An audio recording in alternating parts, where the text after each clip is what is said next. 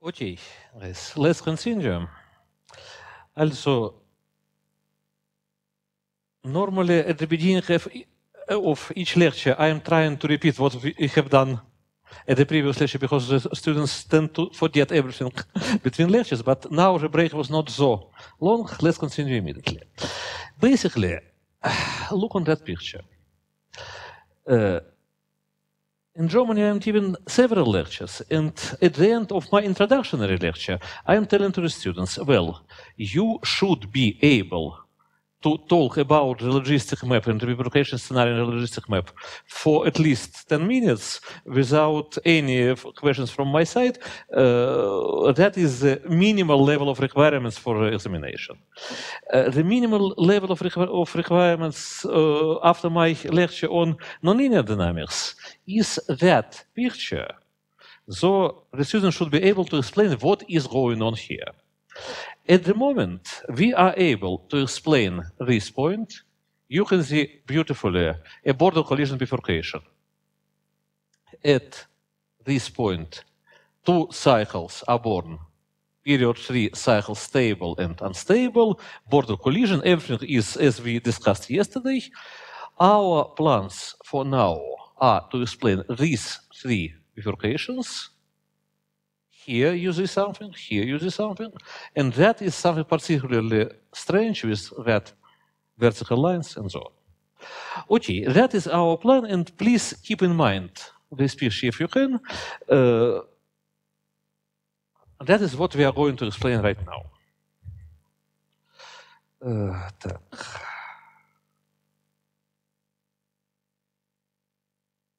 Okay. Also, the main statement in all this area, let me repeat that once again, all the bifurcations of chaotic attractors can be explained just by looking on homoclinic bifurcations of appropriate cycles. Uh, well, it is a little bit a matter of taste how to find a wording for that. I am saying frequently, well, we are losing on the responsible cycles, cycles responsible for that bifurcation. It is a cycle undergoing a homoclinic bifurcation, and as a result of this homoclinic bifurcation, we have something uh, happening to the host attractor, something like that. Uh, just uh, matter of taste to say responsible or whatever. Uh, the point is here, we have several bifurcations of host attractors, we look on them, and all of them are somehow associated with critical homoclinic orbits. What does it mean? A homoclinic bifurcation, now also, it, it is not difficult, but you, you have to follow the chain of, uh, radius. We have some cycles undergoing homoclinic bifurcations. What does it mean? At this moment, a new homoclinic orbit to this cycle appears. That means before the bifurcation, we was in the situation that this homoclinic orbit didn't exist, and now it exists. It appears here. What can produce such a homoclinic orbit? Well, there are different situations, but the most natural situation is what we have looked at here. That means we got the situation before that some pre-image was above the maximum and the chain of pre-images was broken, didn't exist. And at the moment we have some pre-image coinciding with the maximum, and after that we can beautifully rotate using the appropriate local inverse here to the fixed point. That is the idea. In other words, at the bifurcation moment, we have got a homoclinic orbit, including our maximum. That means a critical homoclinic orbit. That is not the only way it may happen, but that is the way we need here. And now we can look at specific bifurcations, for example, this one. Once we tried to find a suitable description what is going on here, basically we have some attractor with some number of bands, nobody knows how, uh, how many of them, and some cycle located outside the attractor. At the bifurcation moment, this cycle enters the attractor in such a way that the bands are pairwise merging. Yes? Uh, an extremely important point, absolutely neglected by uh, many people. We need a negative eigenvalue. It cannot work otherwise. Why do we need that?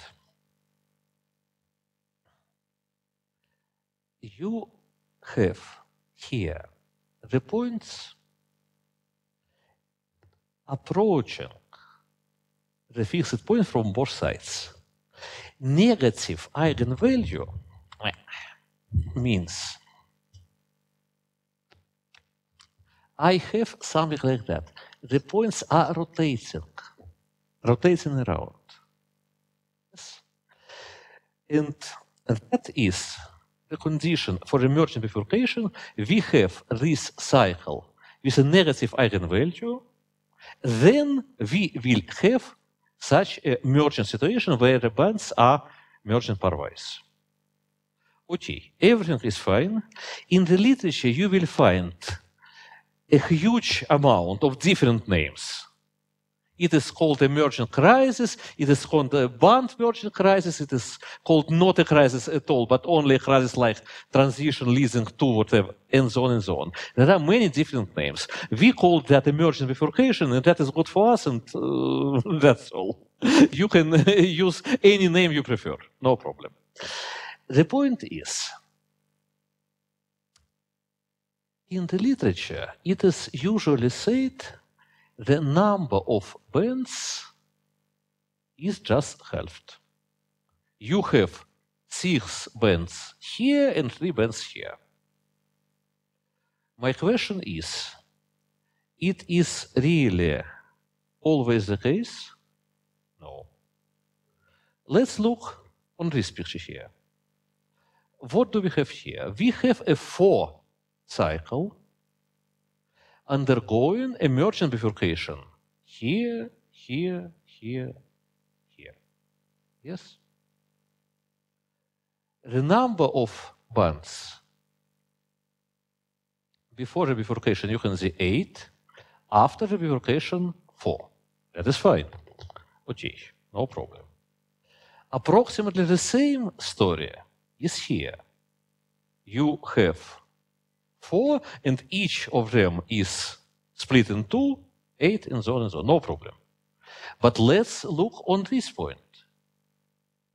This bifurcation of the three cycle.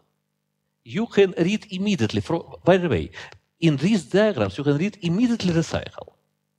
One point here in negative, two points in the positive, that is also L, R2 recycle LR2. How many bands do we have before?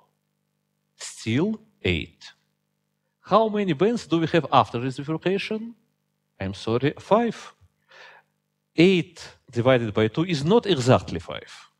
Approximately, but not exactly.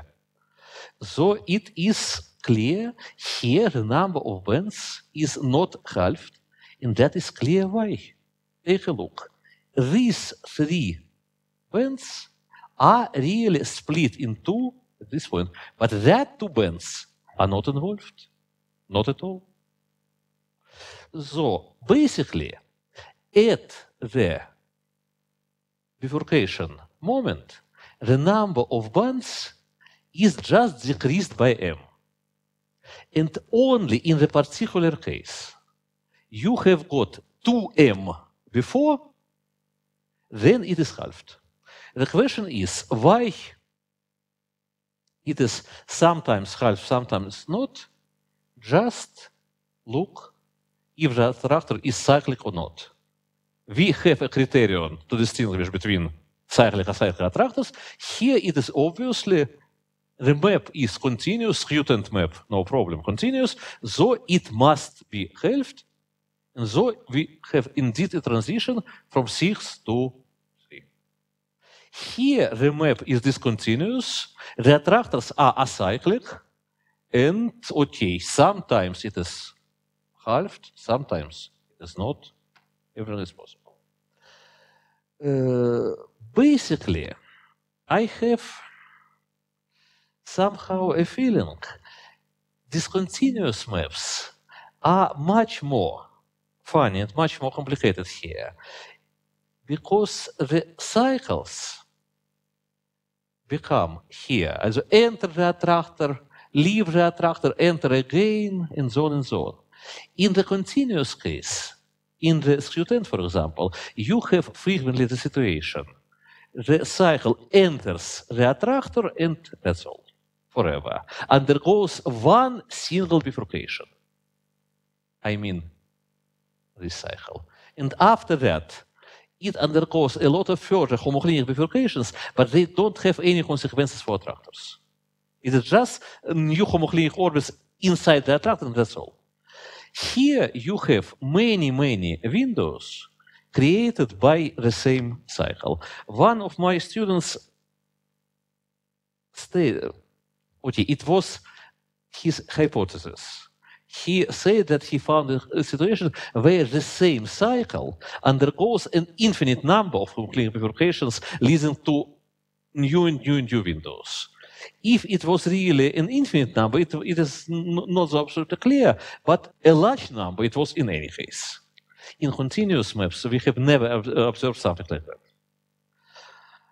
Okay, so far everything is fine. Now let's go a little bit more practical. How to calculate this point. Basically, uh, we are not forced to do anything related to homoclinic because you can see here this point is just the point where the bands are merging pairwise. Yes? And in the previous lecture, we have looked on that. We are able to determine the boundaries. Yes? The boundaries are given by critical points. I have shown you all the expressions. So you can solve the expression that one equal to that one. It will be that 8 and 11. 11 is this one. 8 is this one. Okay. That will be this intersection, no problem. Or alternatively, 7 equal to 10. 7 equal to 10, that is this point. No problem at all. Okay, that is a possible way. You can do that, but you shouldn't. Uh, it is not a good way. Because these expressions here, you can see at least the ninth image of the critical point unit here. It is doable, but it is quite a long expression. And in other cases, for higher periods, it will be ugly, really. Instead of that, we can look on this three cycle. To calculate the points of this three cycle is not a difficult story.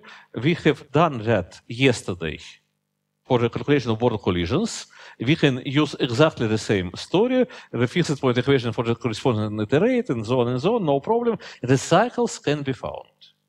And that is just the boundary, okay, the point x0 colliding with x, that is the point on the right, that is this point with x, that intersection. And now, now, you can use basically any of these expressions, but of course that one is using the lowest image of the critical point. That is the easiest way to calculate. Anyway, using any of them, you will get for the, uh, for the skew tent here that expression. The only point is right now, you have to combine in mind now, once again, different pictures, different explanations I have given you. On one hand, right now, we have used this condition, that is a boundary, yes? On the other hand, you can imagine here for the skew tent again, our well, that is no, that is not a good picture. I'm sorry. I'm I will draw a different one. That is our function. That is a fixed point.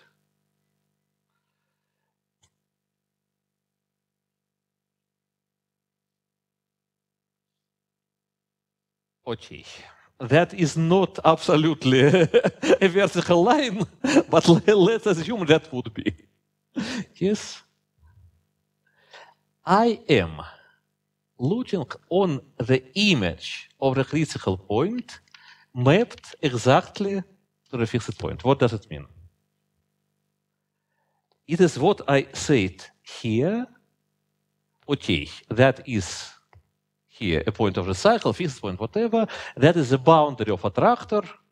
I have not mentioned in this line anything homoclinic still it is exactly the condition of the appearance of the critical homoclinic orbit because you should continue the sequence of images in the backward time, that is exactly the homoclinic orbit which emerges here because if you are moving that a little bit, it disappears. If this pre-image is a little bit on the left, it is non-critical. If it is a little bit on the right, it is not existing. Yes? So, what we are using for the calculation is just this part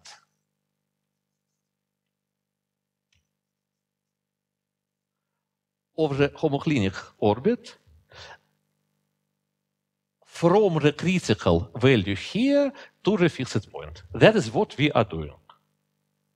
The theoretical background of that is the complete homoclinic story. The practical work involves just this part of the homoclinic. That is all. Also, I hope this connection should be clear. Okay. Basically, in practical situations, um, well, merging bifurcations are quite nice because you can look here and you can see immediately these two bifurcations are in some way related for sure to a two cycle. What else? You can count the points this bifurcation is for sure related to a tree cycle and so on. So your job is just to look on this structure, to determine the cycle you are working with, to plot the boundaries of the attractor till you find the suitable intersection, and after that, just calculate. That is all.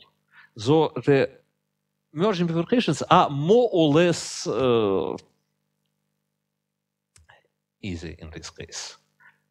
But okay, you have to do exactly that steps. Okay, so far everything to merging. Now let's look in a different one, expansion. Expansion happens exactly the same story, but the eigenvalue is positive. It must be positive. And if it is positive, something badly different happens. The attractor is expanded now. Here, at least, to the full interval. Here, by the way, as well. In other cases, we shall see. Yes? Frequently, it is called, uh, it is called an interior crisis, maybe a contact bifurcation, whatever. Uh, the key point, it is expanded here. And why it happens? Let me explain you in a different example. On this example. We shall come back to the other one, but this example is in some way nice. Let me draw the function here.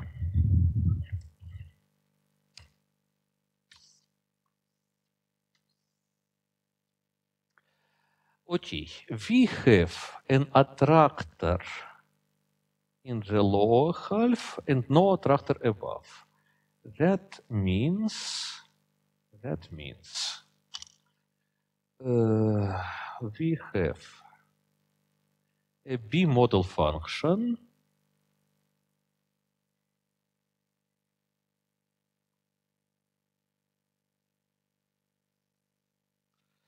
something like that. And now.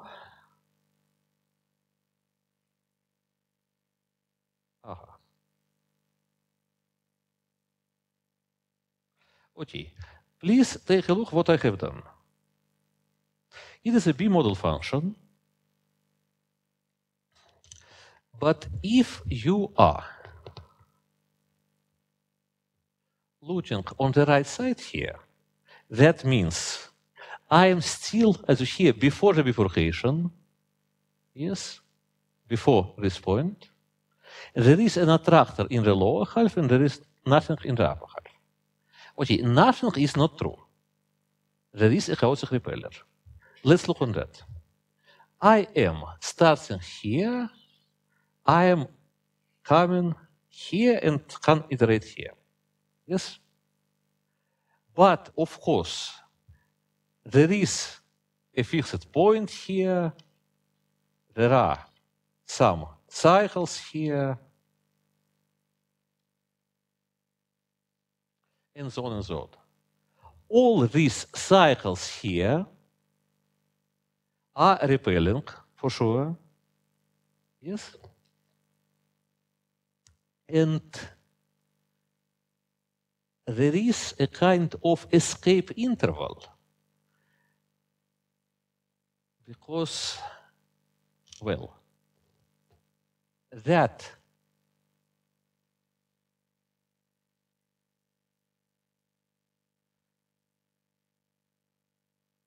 the pre-images of that, the pre-images of that are mapped here, here, and then disappear from that area. So we have an infinite number of cycles and an uncountable number of aperiodic orbits and whatever else here on the right side, but all that forms a repeller. And the generic orbits go from here to that one. Okay. On the left hand side here, we have our unstable fixed point and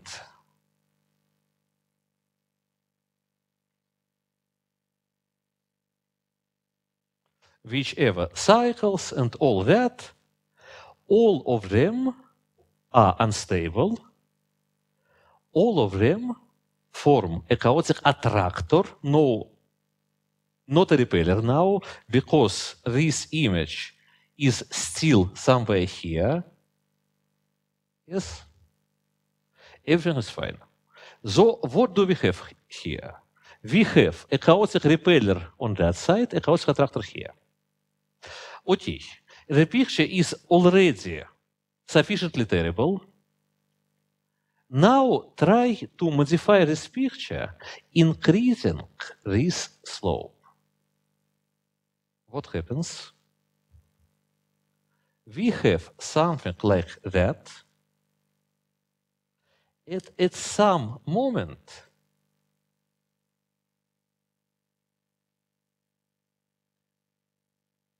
almost correct. Almost correct means that here. That is the slow. At some moment, we have the image of this point here. By the way, as you can see, it is a homoclinic bifurcation of this fixed point, but okay, that's the next story. And what happens after? Immediately after this homoclinic bifurcation, at this value, we are reaching that area.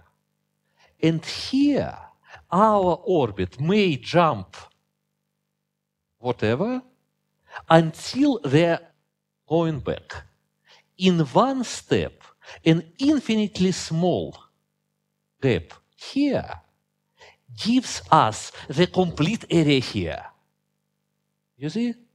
So, in one step, the attractor which was given here by this interval from here to here is expanded to that. And that is a proper expansion. In one single step, we are getting that complete area. As you can see, that was exactly the bifurcation where this homocline, uh, this fixed point, which was our origin here, this one, got a new homoclinic connection from that side. That was the homoclinic bifurcation of this fixed point. Okay, basically that is what happens here. Let's go back a little bit. Also, at the expansion bifurcation, we have, in any case, the situation that this three band, for example, here is expanded to one band. But basically, there are many things which may happen. In that example, we have a three cycle producing this bifurcation, and the number of bands is decreased here by 2, I'm sorry, from 3 to 1. Here it is decreased by m, two cycle undergoing bifurcation and two gaps are closed, and unchanged, that is this case, we have got one band attractor before, one band attractor after, but expanded. So basically, how many gaps are closed is not really relevant. What really matters is that vertical edge here it is expanded. Yes. Uh, here, for example, not all gaps are closed. Closed at these and these bifurcations are the gaps related to this five cycle here. That, that, that, and these two. And this one related to fixed, containing fixed is not closed. Okay, anything is possible here. Okay. Once again, let's go a little bit in details how to calculate it. Well, a two cycle here, we have the points, we have the images, okay. One bifurcation, any of that equations, that means this point with that boundary, this point with that boundary, the other bifurcation, the same point with the other, boundary, or the same point with the other boundary. Okay. Technically, everything the same. You have the points, you have the critical values. Okay, that is easier, lower rank. You can calculate the equations. Everything is fine. In the practical life, it is a little bit more sophisticated because if you are looking, okay, here it was clear only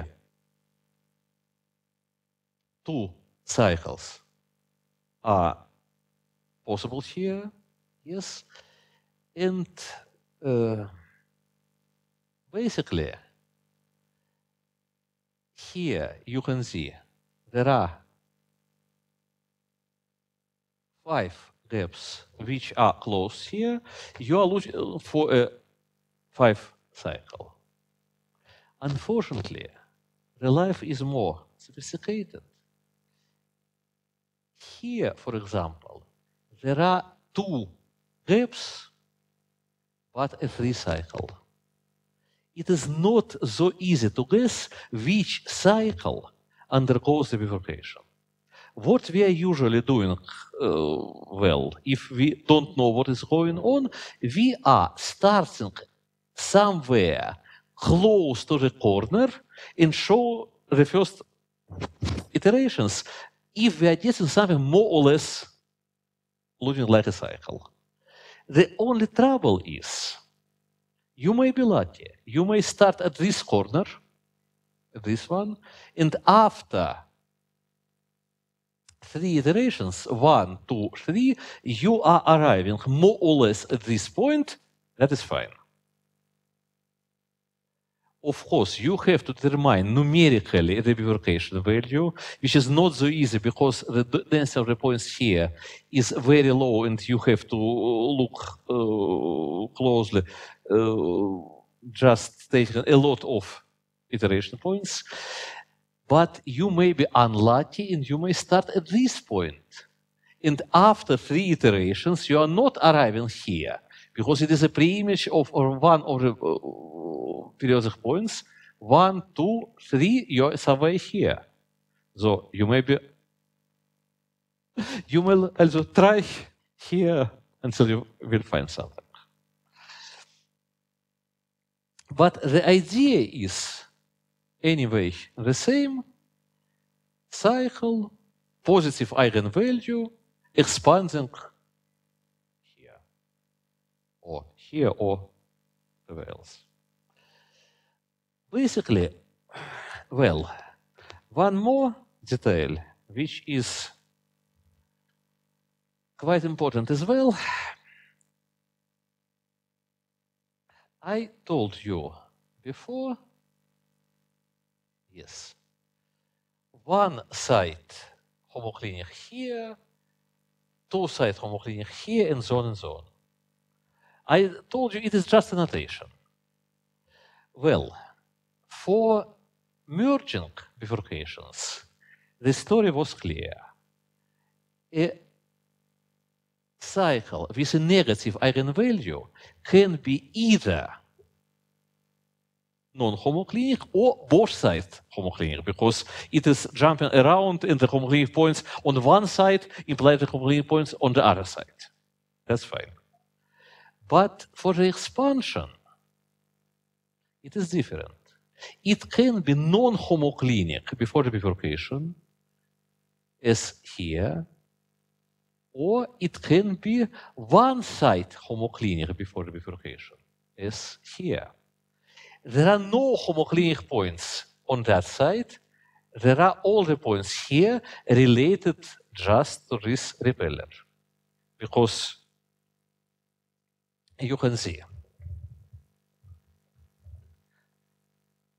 this fixed point before the bifurcation, you can beautifully create a homoclinic orbit like that, one side homoclinic is the fixed point. And at this moment, it becomes homoclinic from the other side, something like that. In order to confuse everybody, I am saying the following sentence. Take a look. If you have an expansion bifurcation in which the fixed point was one side homoclinic before two side homoclinic after is, well,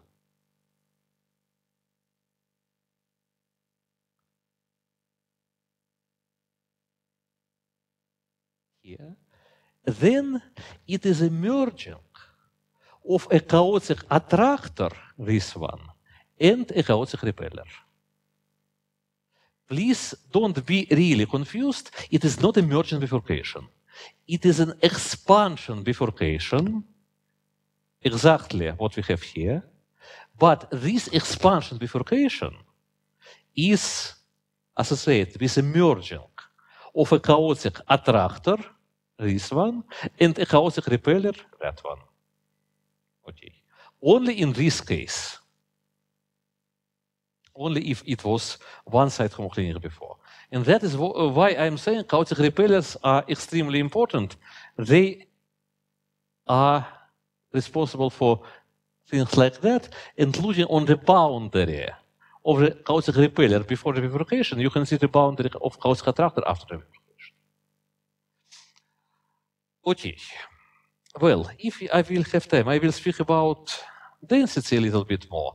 But the point is, here, already in normal uh, situations, you have a quite low density after, because I told you here, here, we have, after the bifurcation, an arbitrary small interval which is mapped on the former repeller, for example, here, and this small interval is distributed in the complete part, which was at former time a repeller, which is now an attractor.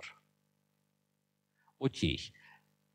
A small interval distributed everywhere means a very low density.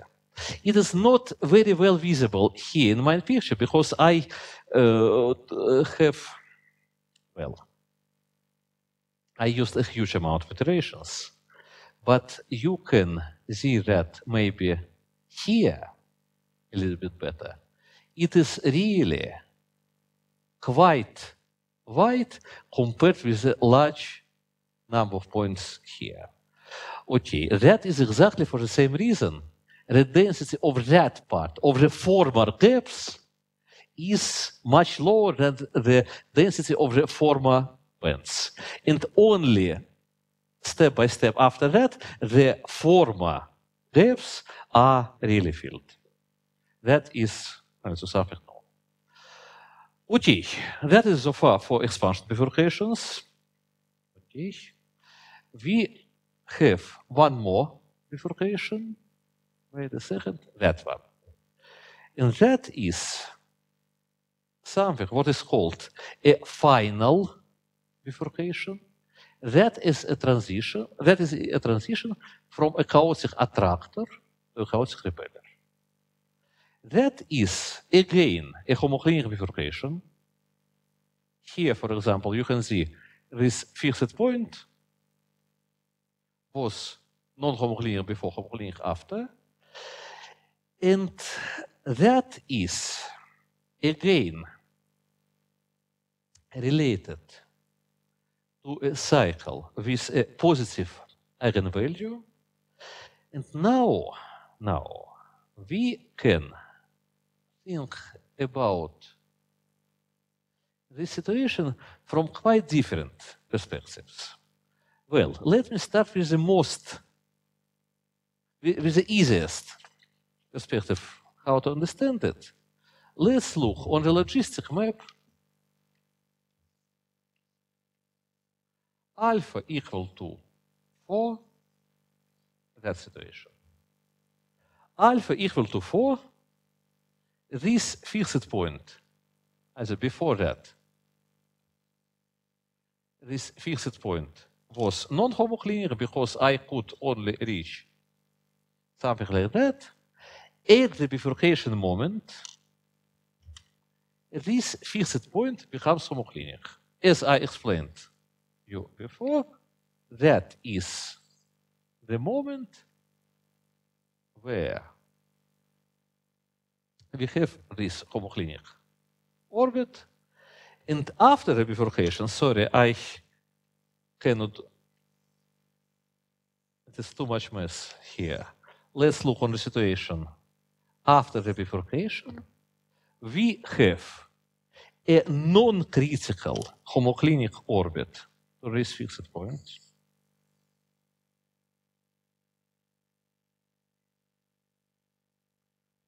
Yes. And we have a kind of absorb, uh, sorry, escape interval. That interval in the initial values started here are going outside of 0, 1 are mapped beautifully also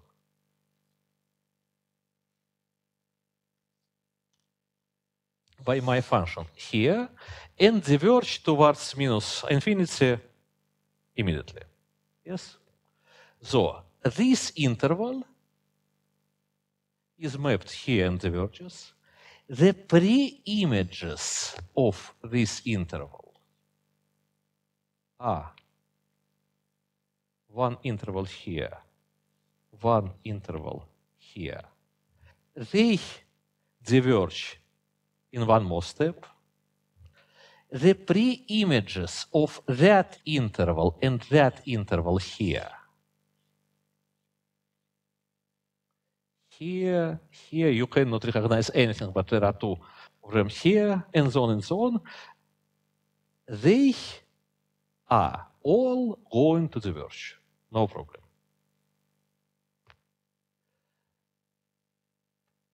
By the way, by the way, look on this picture. This interval here is just this interval.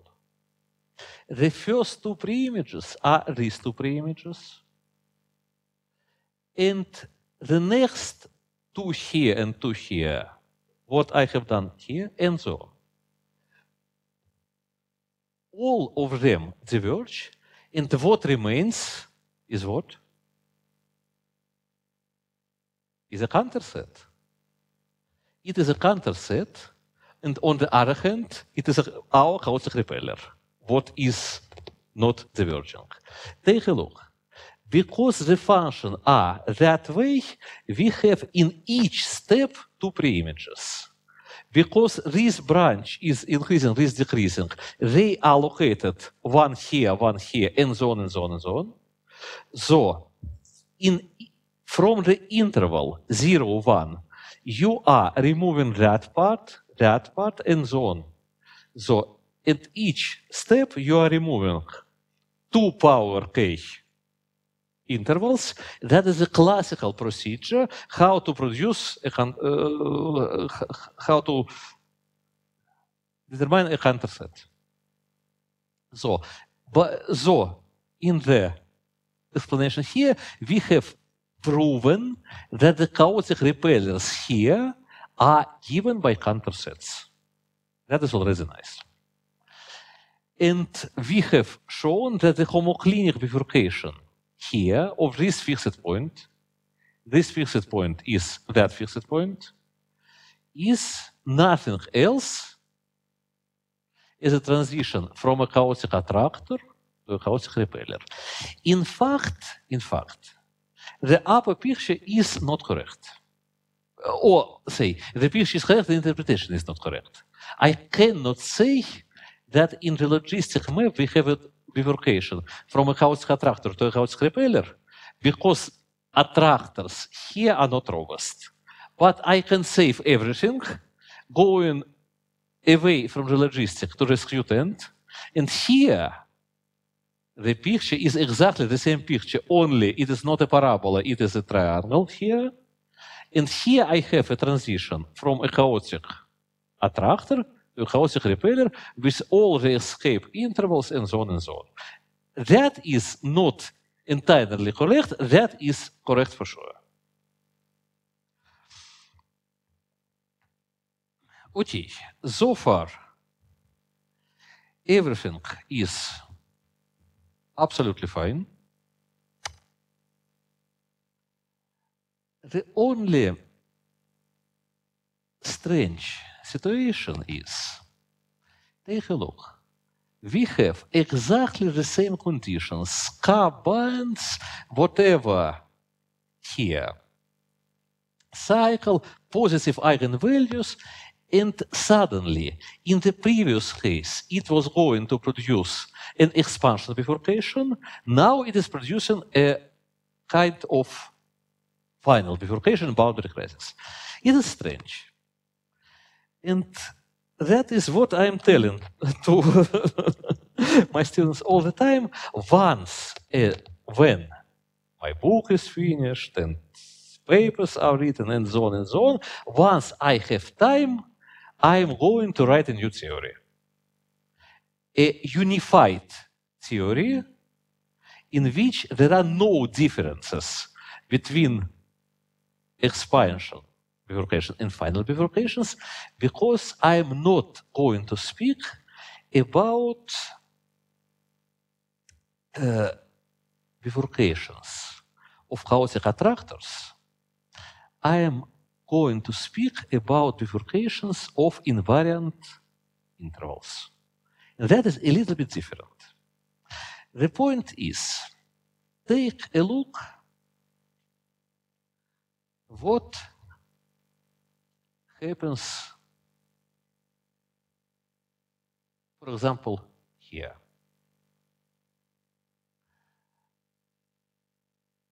Or here, doesn't matter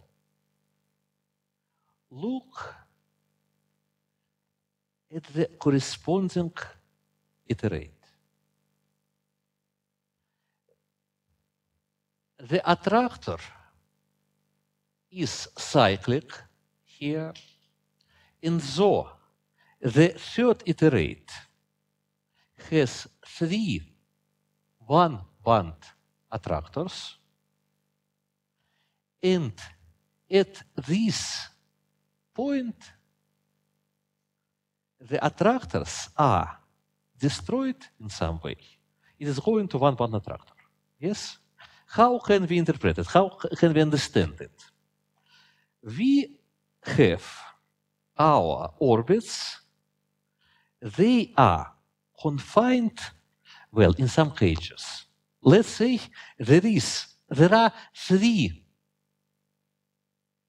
pages. Here, in each of them, for iterate, that orbits, that orbits, and that orbits are confined. For the third iterate, that are three separate cages, and the orbits are confined. There, some of them in one attractor, in the different in the third one.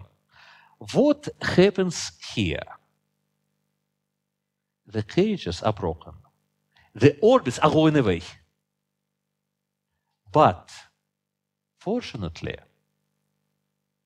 there is one more cage around all of that. Our big absorbing interval from here to here, and so the orbits escape from that cages but remain in the big cage. So, definitely what you have are nested cages.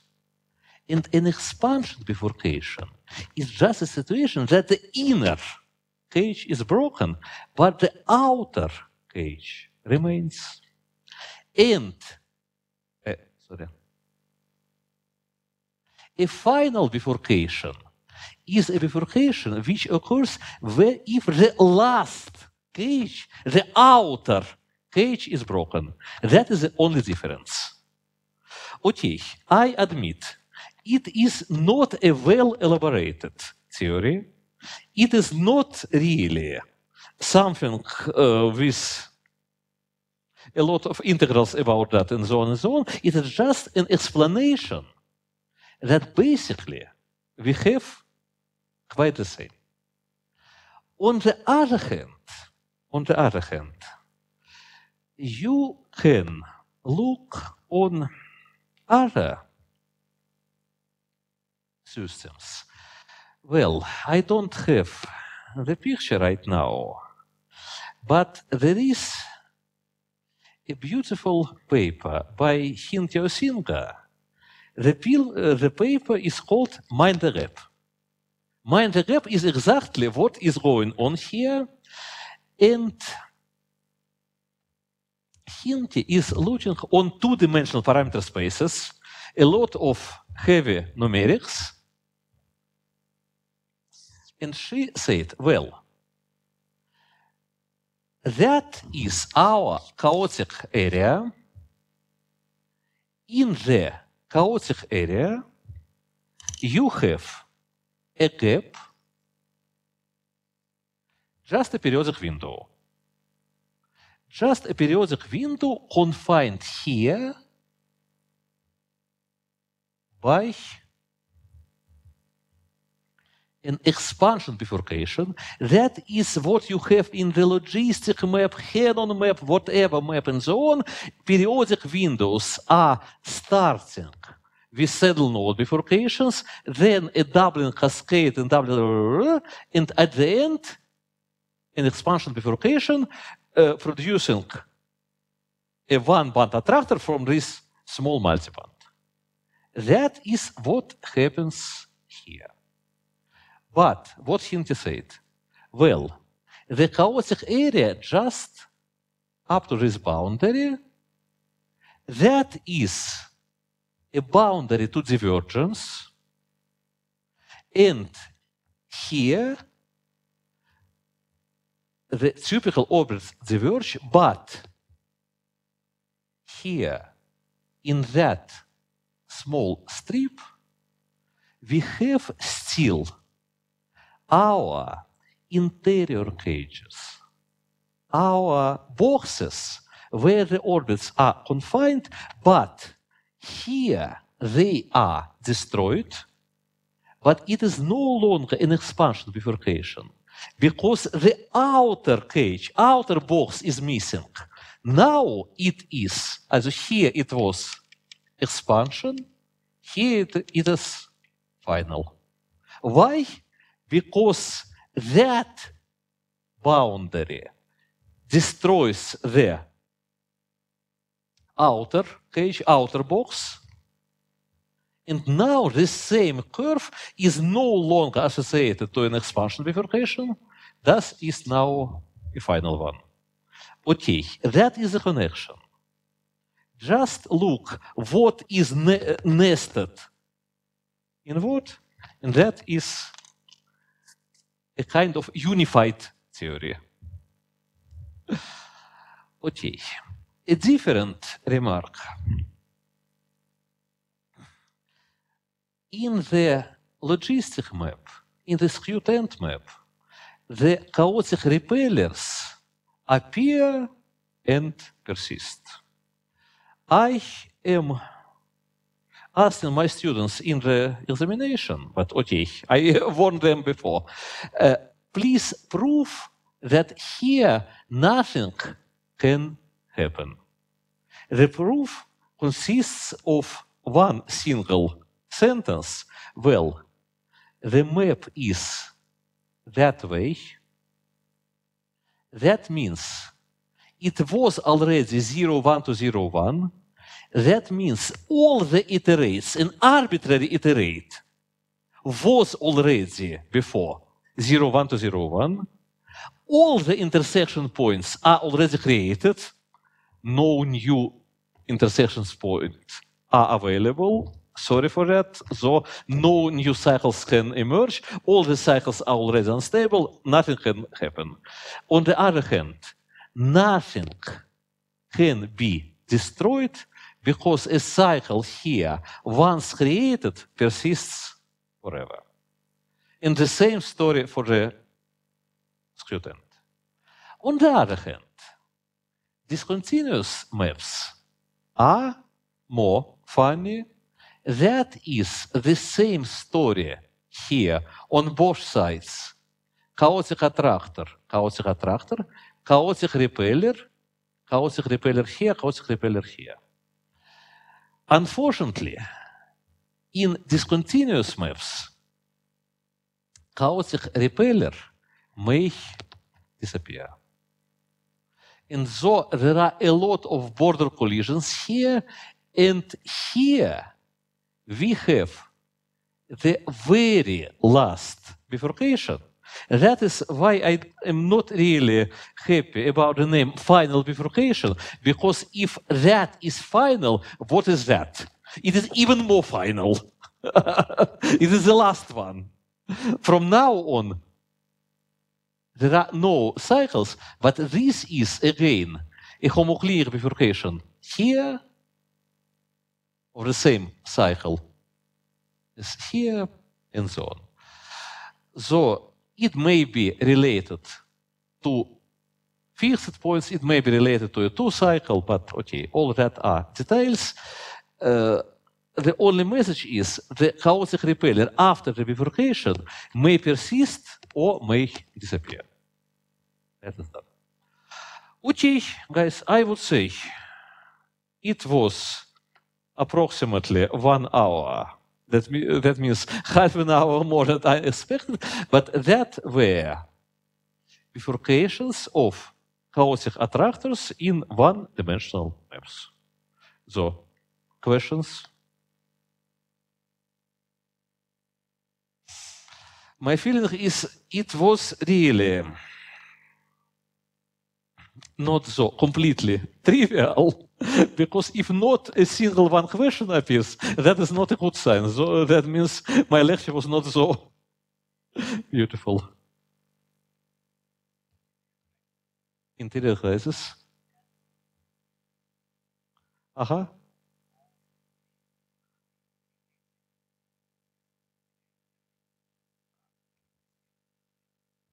Nee, wait a second. Wait a second. Wait a second. The interior crisis in, expansion bifurcation, it is uh, just different names uh, for the same thing.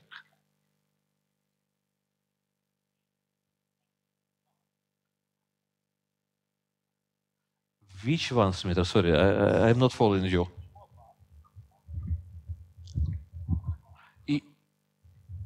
that one.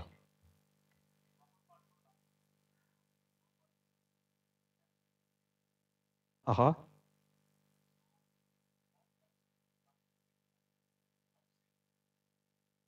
Soumitro, um, sorry, sorry, sorry, sorry. Let's go back. Let's go back. I am just wondering if I have a suitable picture. I have one. Yes, that one. Yes. But I am sorry. I am sorry. I am sorry. Let's go very much back.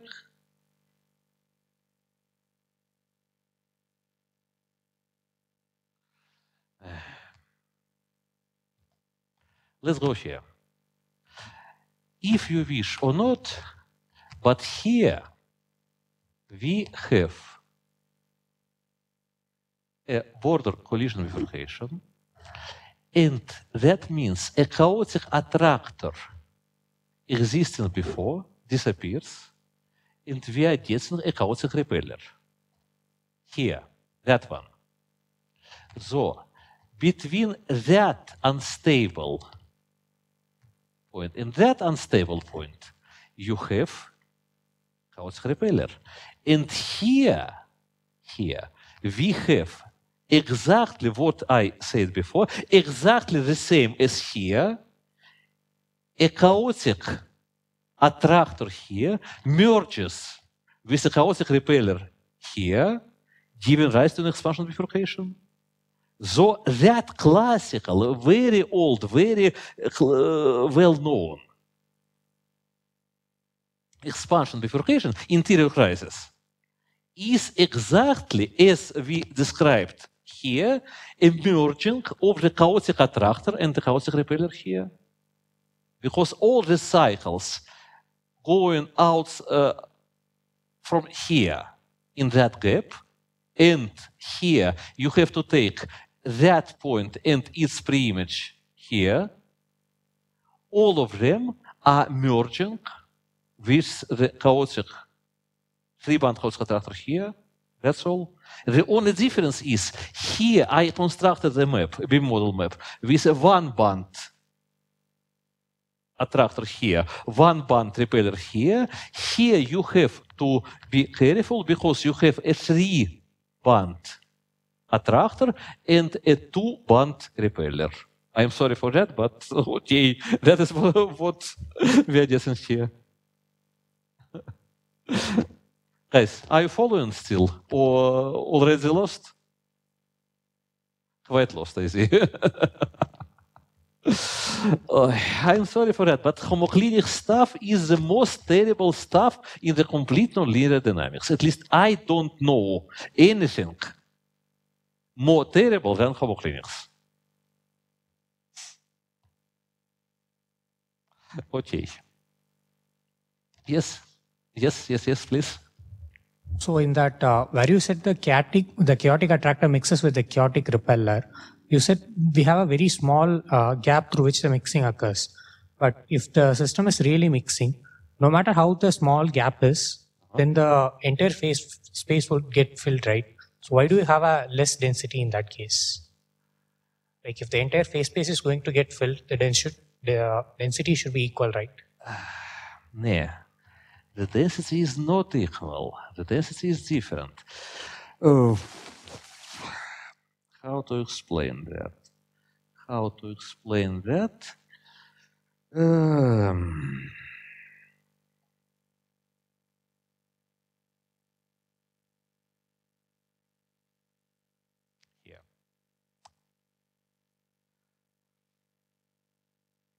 Well, it is again more or less the same explanation, but uh, imagine uh, from a little bit different perspective.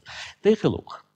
Here, at this parameter value, before the bifurcation, we have all the points here mapped somehow back to this area. It is, well, we are looking right now on this situation. Yes, after the bifurcation. The points here from which are arriving below that point are mapped back. Almost all the points here are mapped back, and only the points which are arriving here, they are mapped on that half. Yes, the system is mixing, of course, but uh,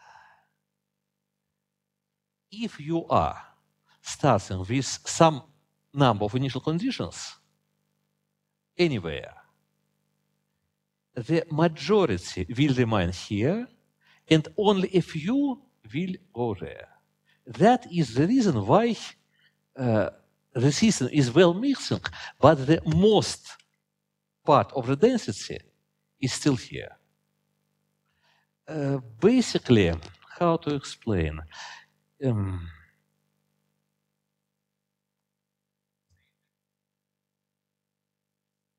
uh-huh. Uh-huh.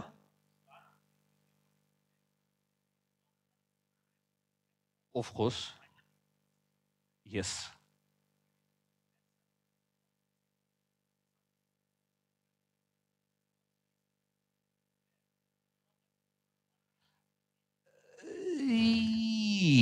Now you have to compare the times and to make plausible that it, the time here is uh, shorter than the time here uh, it is true. It's true because that gap here has a finite size. that gap here is, approxim- uh, is arbitrarily small after the bifurcation. And so we are leaving that area after some number of iteration. And we are leaving that area after a much higher number of iterations, leaving, uh, leading to a higher density here. Okay, uh, Soumitro, I agree. you are right. Nee, nee, that, that, well, in my pictures, everything are, hand-waving arguments. Also, there are not a single one integral here. okay, okay. Now, I would say we should start with the next part, but I am not able to finish that in this lecture today. It is obvious. So I will continue that tomorrow. But now, let's go back to my favorite picture. Here, we have explained that expansion. We have explained that final. We have still that one bifurcation to explain. It is not so terribly difficult, but it is a different bifurcation. Let's go look at that.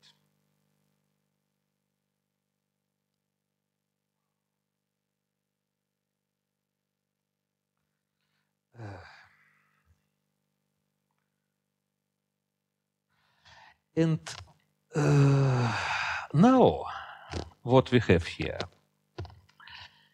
is a bifurcation related to the loss of stability. And now let's recall what we know about bifurcations, about bifurcations like that, flip or pitchfork I don't have here. It can be supercritical, it can be subcritical, anyway. This fixed point was stable, becomes unstable, was stable, becomes unstable. Here, this beautiful branch appears stable, here this branch appears unstable, so everything is classical, smooth, beautiful, fine, something related to eigenvalues plus minus 1. The only trouble is, look on this polynomial. This polynomial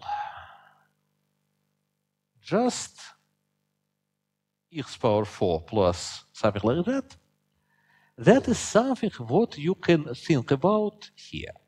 Because it is a quite natural question from here to here, how it is going to translate. May we have some system we, in which we have first that one and then that one. What is in between? The question, what is in between, is the crucial question now. Because you can see here the classical situation here, this parabola of the degree 4, this parabola of the degree 4, and something here. In between, we can say that the situation in between is somehow degenerate. Yes? What does it mean? if you have A negative, it is that one. If you have A positive, it is that one. If A is equal to zero, is that one. Okay? So it is somehow reasonable, and we can rotate the picture by 90 degrees, saying, well, that was a situation before bifurcation, something like that, it is the situation for positive A, also something like this, and at this point, well, what can we do here? That is the situation where high order terms really matter. You can say that the situation here is more or less identical with this one. The only trouble is this function is not a square root function. it is something more complicated related to higher order terms. Maybe it is something related to uh, the root of power, uh, fourth root or something like that. No problem. So the transition from here to here is related to such a degeneracy, but this degeneracy is, say, resolvable. It is not a trouble. The only trouble is what happens if I have not only, take a look, not only A disappears, not only quadratic terms disappear, but all terms disappear. That is not good. That is something what I would call a strong, very strong degeneracy. The degeneracy, something like that, from this to that over this. And unfortunately, that is exactly what we have in piecewise linear maps. So the bifurcations I am going to speak now and tomorrow are bifurcations in piecewise linear maps and a lot of other maps with a similar behavior. We shall see what exactly the class of maps. Okay, let's look on that. First, eigenvalues related to eh, also related to eigenvalue plus one.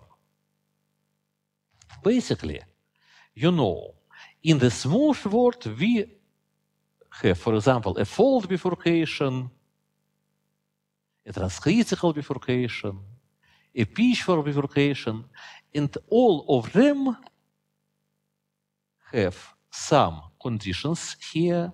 The conditions here are not really terrible. The fold bifurcation, for example, what is the meaning of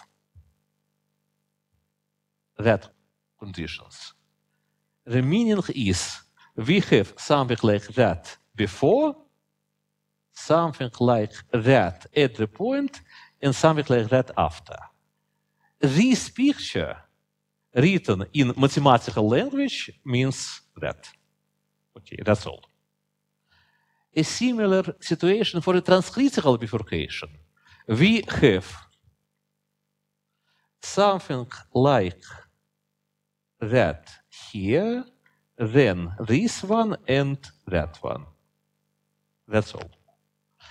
But all these things are related to conditions, some uh, derivative positive here, some derivative negative here, and so on and so on. If we are looking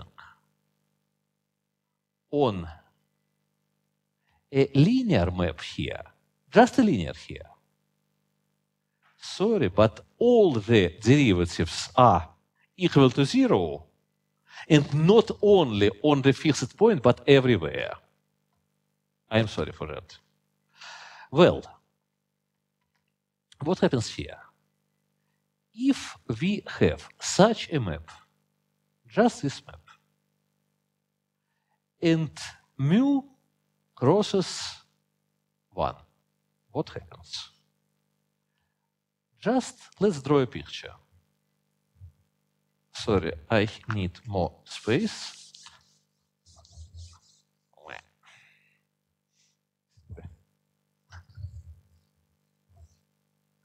What happens here? We have such a linear map and we have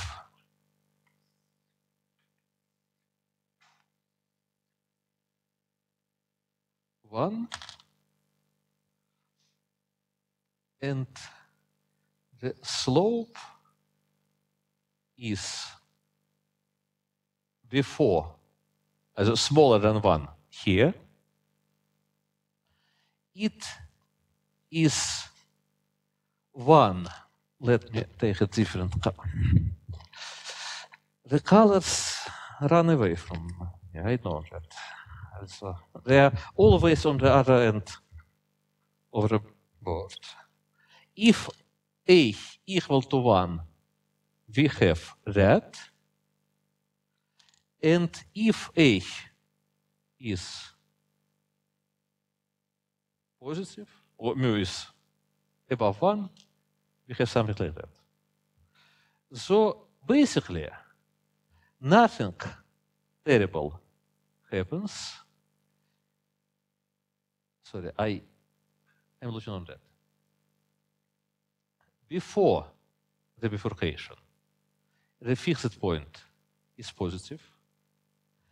At the bifurcation moment, it doesn't exist, and after that, it is negative. Okay, that may happen. A different case, which is even more boring now. Sorry, I have to draw that as well.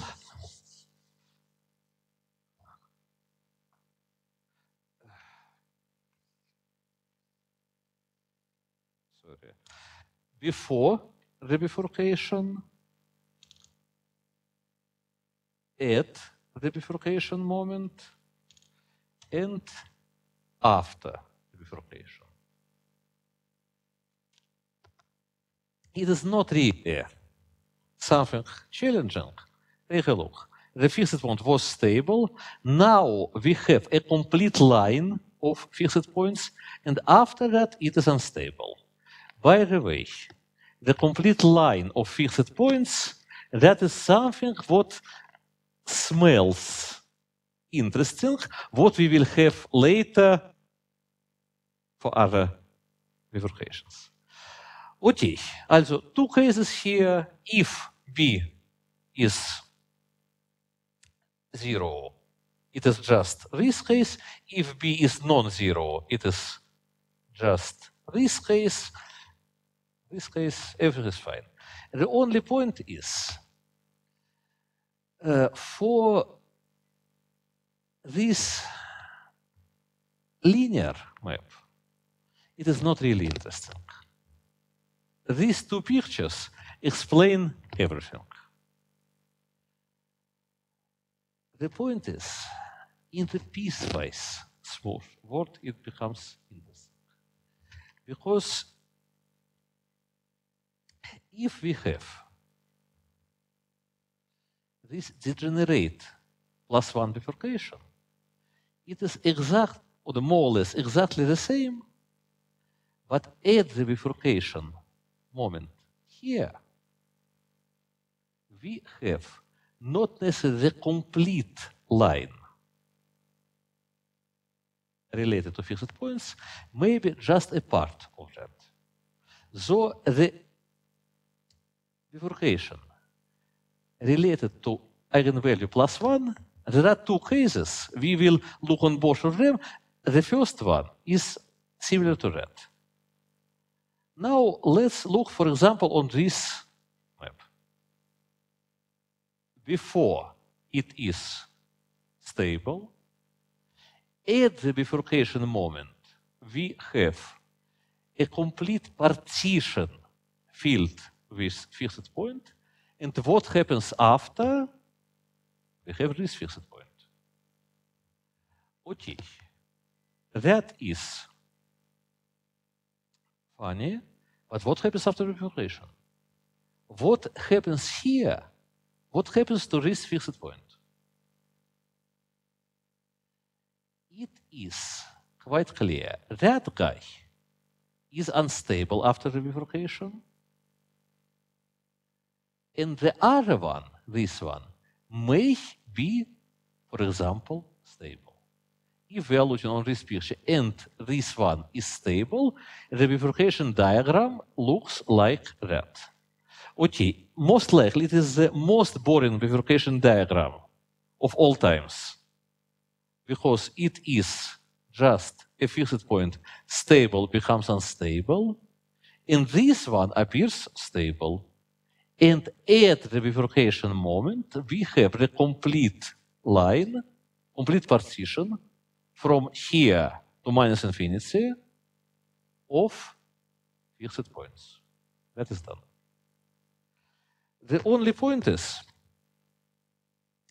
the fixed point here is not necessarily stable. It depends on my parameters. Uh, sorry. It may be unstable as well. And here you can see it is unstable. Here it is homoclinic, one band attractor. Here it is non-homoclinic. We can, sorry, we can look on the pre-images. They may be outside. Also, take a pre-image of that. Here, here, it is either inside or outside. Here, either below this point or above this point. And so it may be one band or two band or four band or whatever. Yes? That is anyway a bifurcation here causing that fixed point to become unstable and to appear something here. Basically, this map, a bimodal one, shows exactly the same, but now I have the middle partition filled by fixed point in the bifurcation moment, and who knows what related to that two fixed points. Accordingly, I may have, for example, these two fixed points stable if I make the slopes, both slopes small enough. Or maybe that one stable, that one unstable, or maybe that one unstable, homoclinic, that one unstable, non-homoclinic, whatever. Basically, you can see that situation is similar to a classical pitchfork. One fixed point before, two stable fixed points after, and that one unstable. But a classical pitchfork says we have two stable or two unstable, but not that one, not a stable one here and unstable one here. That is something different.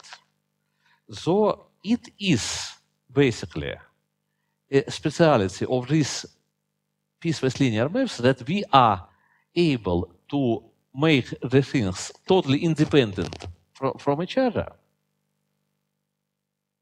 And so stable here, unstable here is absolutely possible because you can make that and that.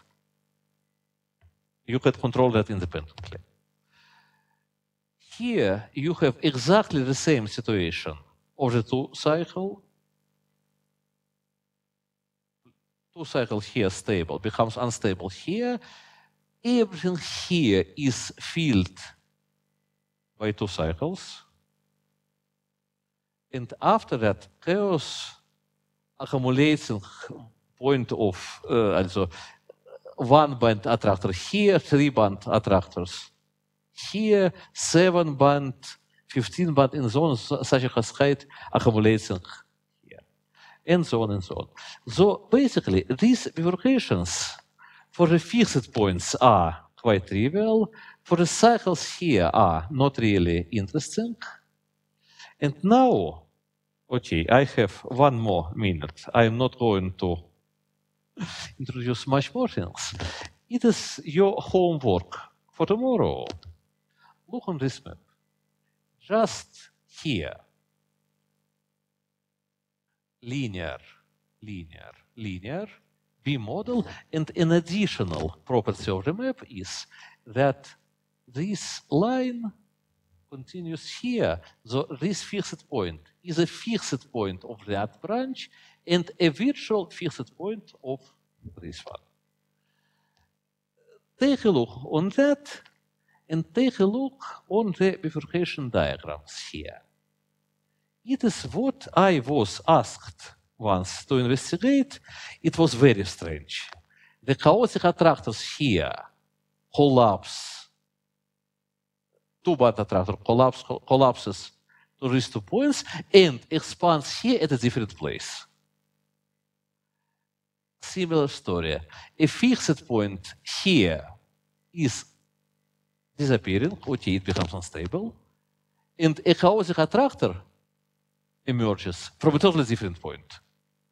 What the hell is that? I'm sorry. I was asked, okay, I was asked by my colleagues at, also to look on that. I have not understood anything. I was not able to understand it before because at that time I, I knew only a few ideas about these degenerative bifurcations, but they are relevant here. Okay, that is what we will discuss tomorrow, what we will look at tomorrow. Now, for today, is enough? Questions from your side? If any. No? Okay. Uh-huh.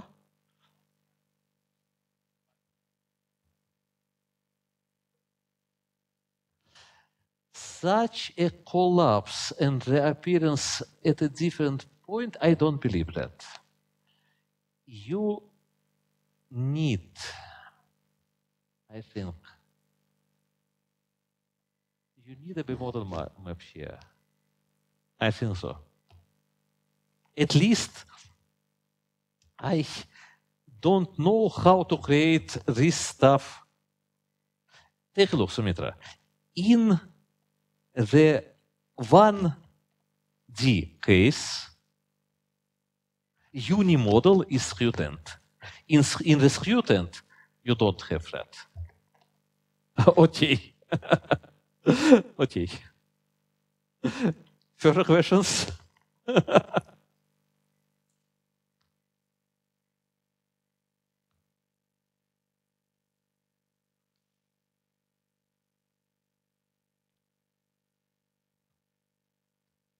Okay, we will continue tomorrow. Also, this stuff is uh, funny enough.